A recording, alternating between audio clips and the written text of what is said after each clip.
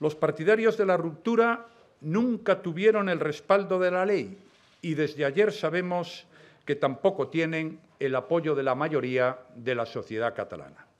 Por eso quiero llamar al Gobierno que resulte del nuevo Parlamento elegido a gobernar para todos los catalanes, a superar la fractura, la tensión y los enfrentamientos que han marcado estos últimos años. Hay muchas cosas de las que se puede hablar, pero desde luego yo por lo menos, mientras sea presidente del Gobierno, ni voy a hablar de la unidad de España, ni de la soberanía nacional, ni de la igualdad de los españoles, ni de los derechos y libertades de todos y la solidaridad entre todas las personas. Por tanto, si hay alguien que pretende liquidar la soberanía nacional o la unidad nacional, que lo diga. El Gobierno, entre otras obligaciones, porque estamos en un Estado de Derecho, tiene la de hacer cumplir la ley.